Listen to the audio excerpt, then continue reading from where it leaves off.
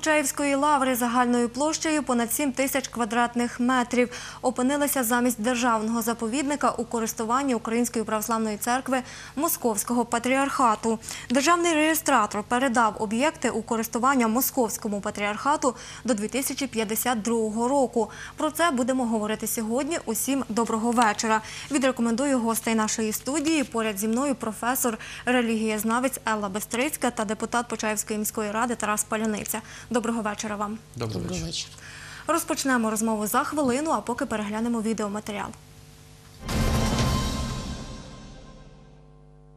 Московський патріархат отримав Почаївську лавру в оренду до 2052 року. Депутат Почаївської міської ради Тарас Паляниця оприлюднив витяг з держреєстру речових прав на нерухоме майно, де вказано, що державний реєстратор Андрій Яремко оформив комплекс історико-архітектурних споруд Свято-Успенської Почаївської лаври на користь УПЦ МП.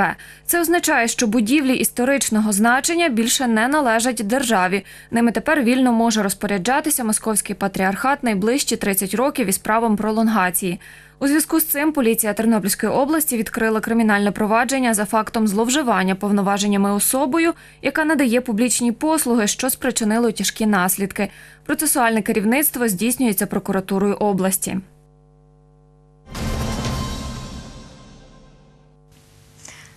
Нагадаю, ми працюємо у прямому ефірі. Телефон студії можете побачити на своїх екранах.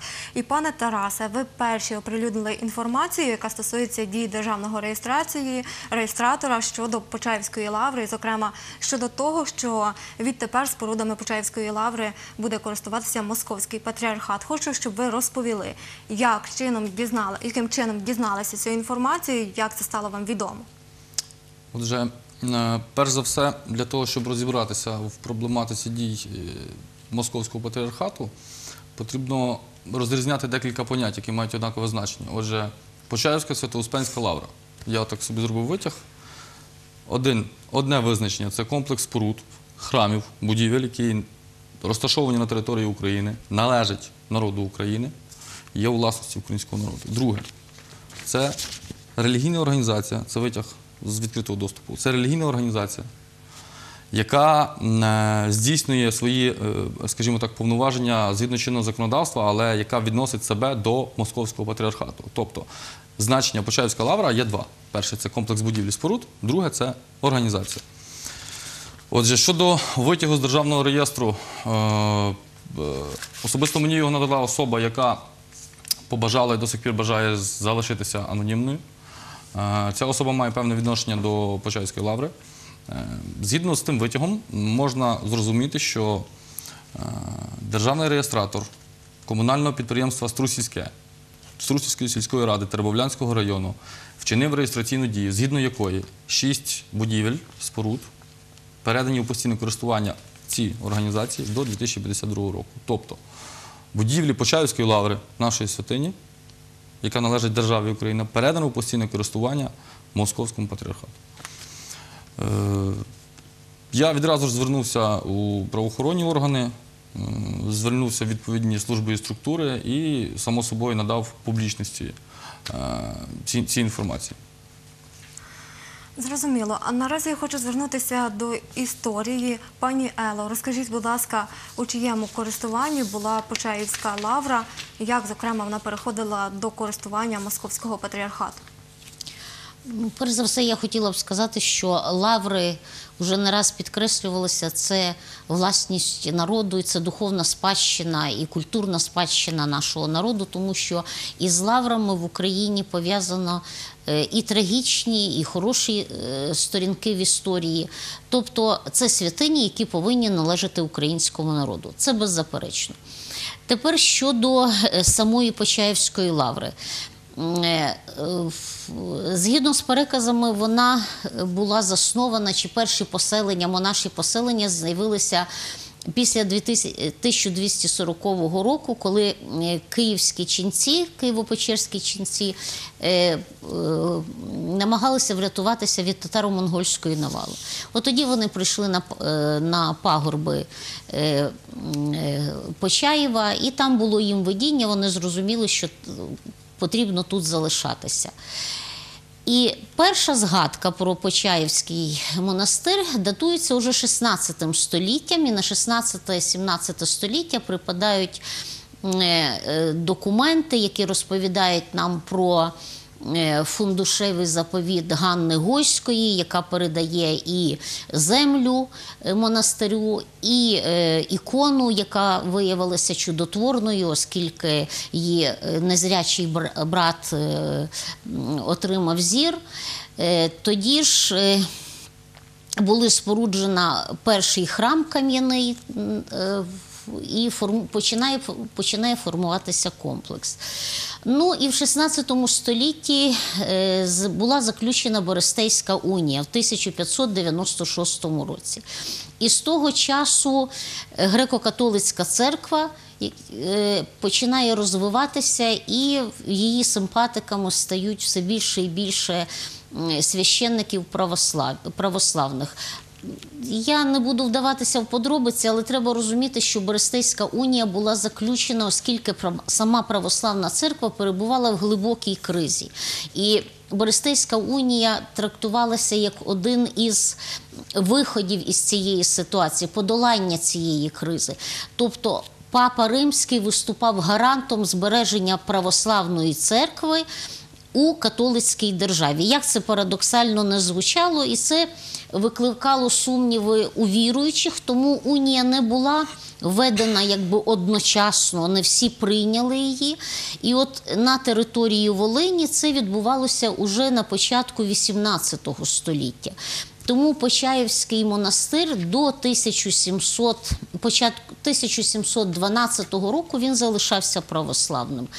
І ми говоримо, що в період десь 1712-1714 років проходило е, процес передачі монастиря від православних до василян, які були е, визначені е, папським престолом як чин, який може. Е, керувати цією цим монастирем. Але треба підкреслити, що монахи так само стали прийняли унію. Тобто, це був ось такий період. Ніякої процедури передачі тоді не було і не могло бути. Ну і тре, і ще одна. Перехід із е, е, власності однієї церкви, якби власність другу, конфесійна приналежність була змінена уже в 19 столітті, в 1831 році. Ось тоді розпорядженням, указом е, російського царя Миколи І Почаївський монастир з усім майном і капіталами, як було сказано в, указі, переходив у власність е, російсько-грецького православного духовенства. Так було сказано в, цій, в цьому указі. І от тоді була призначена комісія, яка передавала, повинна була передати у власність Почаївський монастир.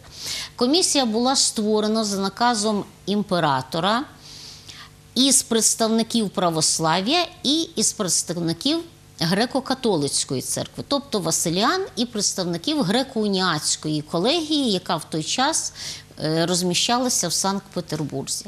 Але ці процедури були порушені, і греко-католиків, які були включені в комісію, ніхто не чекав, і без їхньої присутності все це відбулося.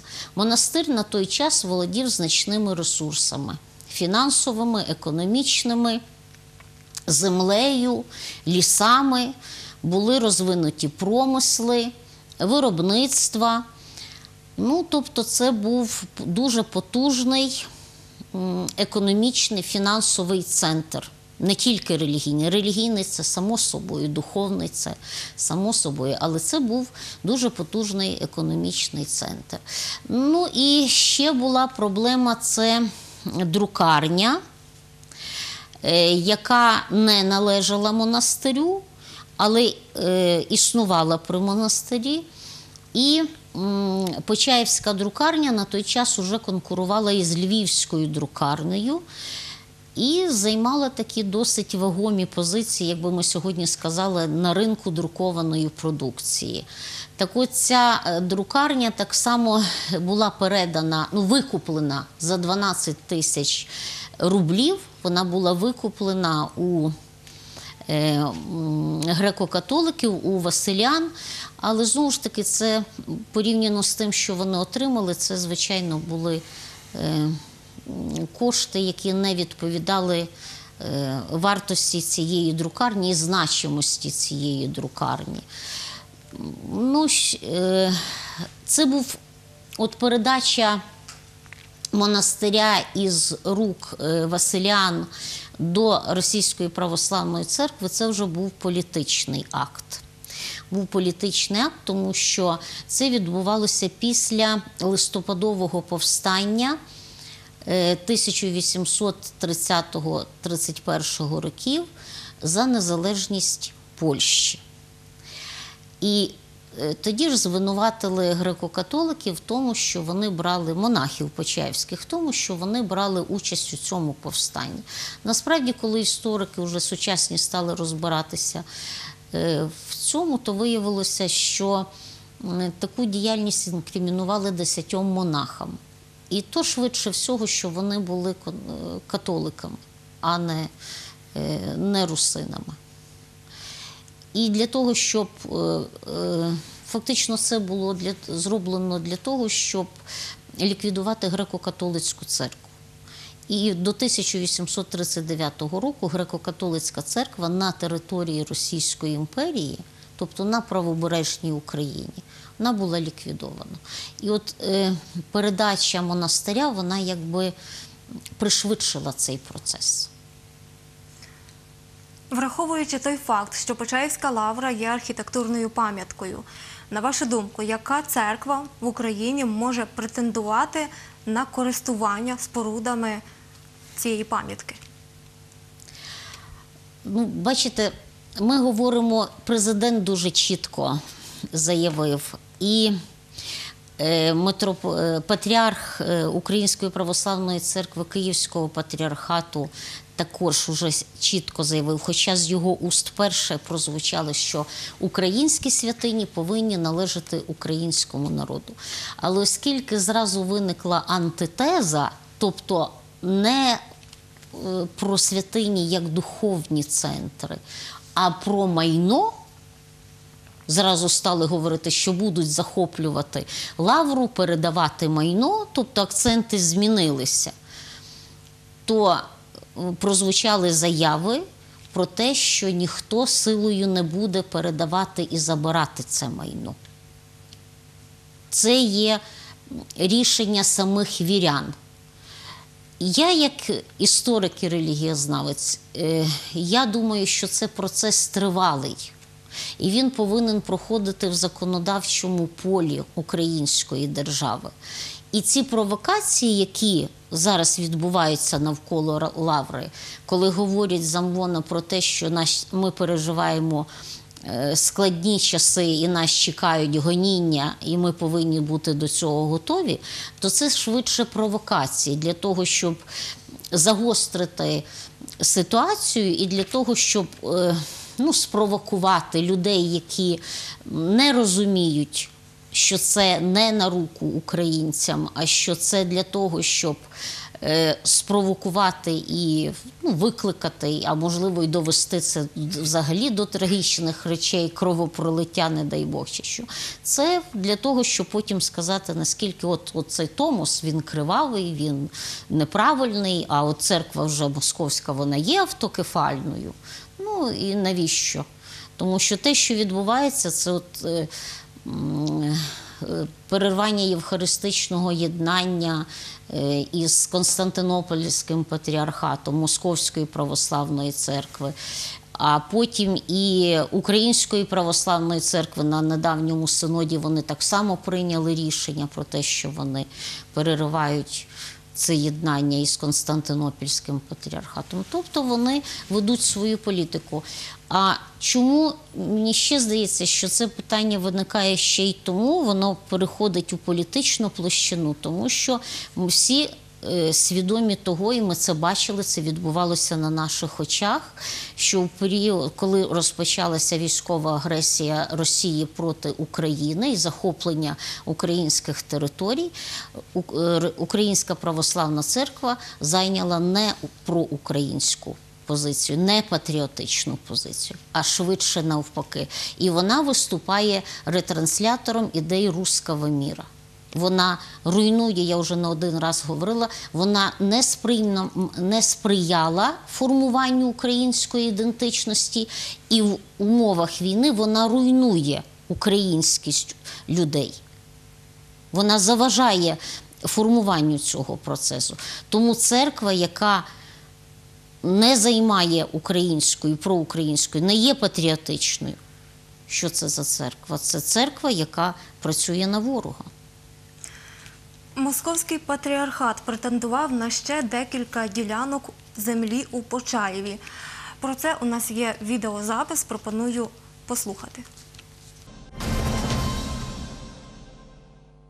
Не знаю, сейчас попробовать, может быть, даже это поздно на сессии победили земли под нашу лаву. И мы хотели бы вас, чтобы вы нас поддержали в этом плане. Я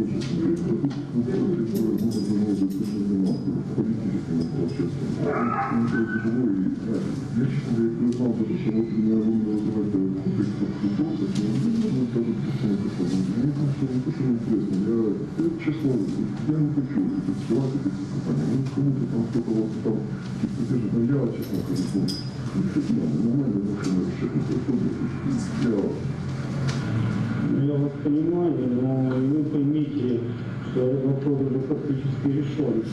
У нас есть люди, которые нас поддерживают. Мэр города Бойко тоже. Ну, понимаете, это, конечно, все не бесплатно. Но зато поговорить, например, кто Нет, ну все делается. Наша знімальна група сьогодні побувала у Почаївській лаврі, щоб взяти коментар у митрополита Почаївського Володимира. Клейник Костянтин, який зустрів нас, сказав, що коментувати ситуацію не будуть. Отож, відеозапис, зокрема запис розмови, де е, представник Почаївської лаври пропонує нібито хабар депутату Почаївської міської ради. Пане Тарасе, це ви оприлюднили цю інформацію. і Наразі я хочу, щоб ви прокоментували.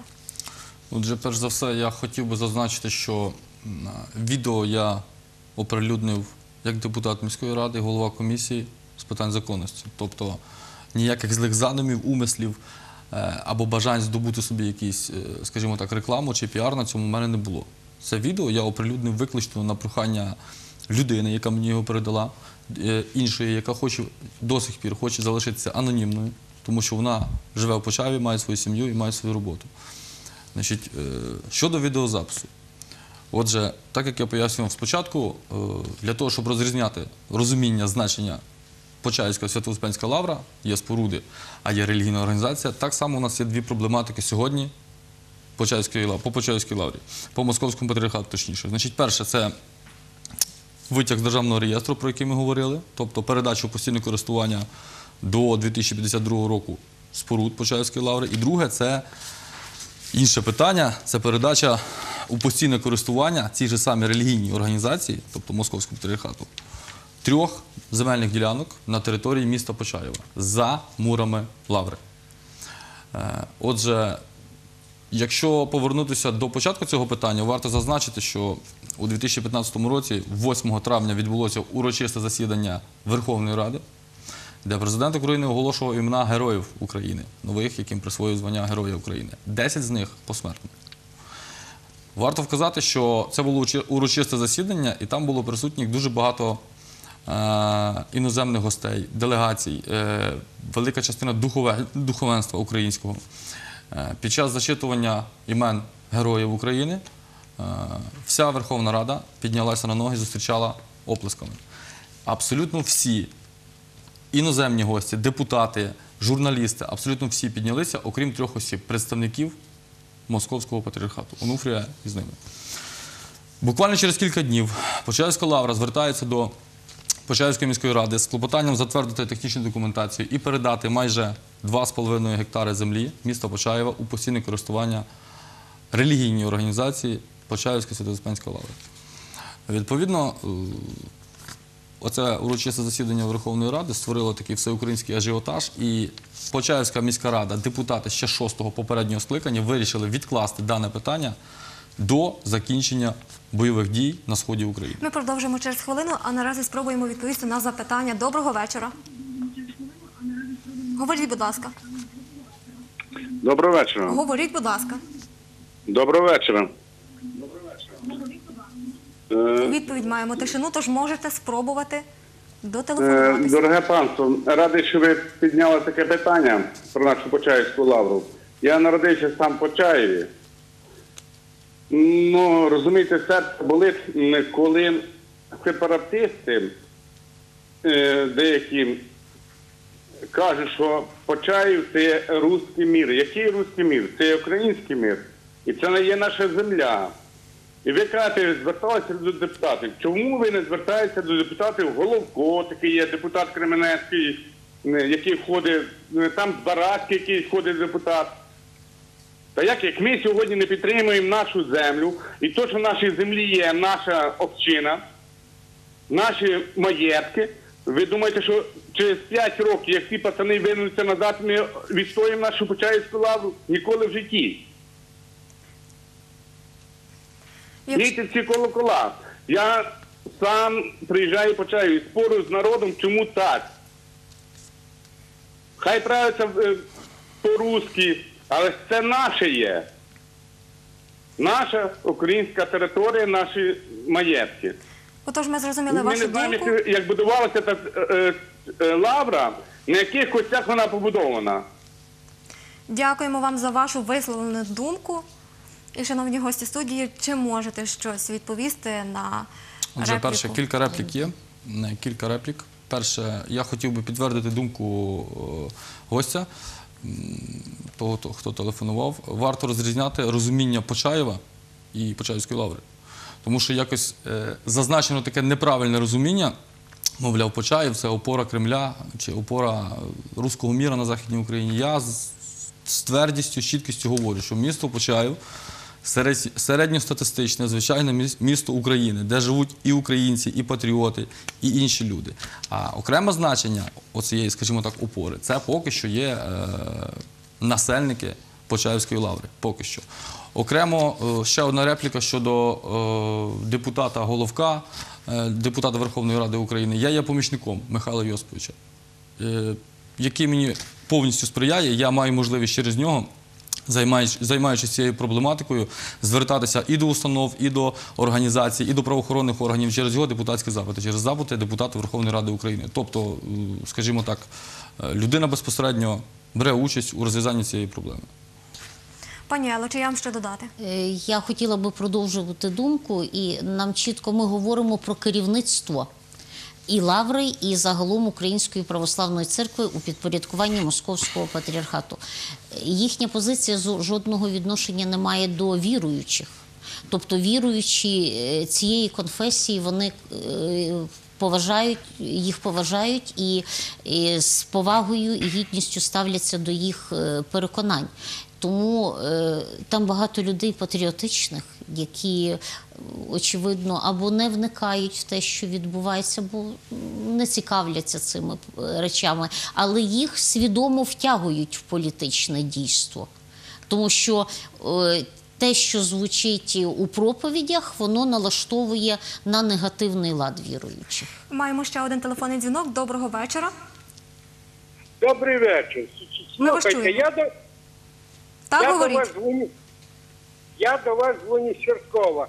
Дивлюсь вашу, дивлюсь вашу передачу. За що Почаєва? Як Почаєв може бути руським? Як Почаєв може... Не, не розберу. Почаєв може бути руським, як в 45-му році Хоч я вас не розберуся. Алло, Ми вас чуємо, можете завершити свою думку чи запитання. добре. От зараз. Я не можу ніяк зрозуміти там ніхто. З ким ви там говорите? Ну, наразі не зрозуміло, що ви хотіли висловитися. А я нагадаю, що поліція Тернопільської області відкрила кримінальне провадження. Наразі триває досудове розслідування і пропоную подивитися відеоматеріал. Ми, звичайно, е, дивилися е, виступ громадських організацій, представників громадських організацій щодо можливого підкупу депутату е, міської ради Почаєва. Ця інформація зареєстрована в журналі єдиного обліку Тернопільської поліції, і ми очікуємо поступлення цього відео для того, щоб можливо можна було прийняти законне рішення про порушення кримінального провадження або про відмову порушення кримінального провадження. Е, Це питання буде звичайно вирішуватись тільки після опитування тих людей, які брали участь в цьому відео. Сьогодні е, ми зареєстрували, тобто закон передбачає за 24 години слідчі повинні розібратися в цих матеріалах і прийняти законне рішення. Отож, питання щодо надання земельних ділянок у користування московського патріархату розглядалося на сесії Почаївської міської ради. Що було вирішено, пане Тарасе? Отже, варто зазначити, що 27 вересня відбулося судове засідання Львівського апеляційного адмінсуду, яке зобов'язало Почаївську міську раду розглянути ще раз надання трьох земельних ділянок в місті Почаєві релігійній організації Почаївська лавра. На сесії було вирішено відмовити Отож, таку маємо відповідь, і наш ефір завершується. Я нагадаю, що ми сьогодні спілкувалися з депутатом Почаївської міської ради Тарасом Паляницею та професором релігієзнавцем Елою Бестрицькою. До зустрічі в ефірі.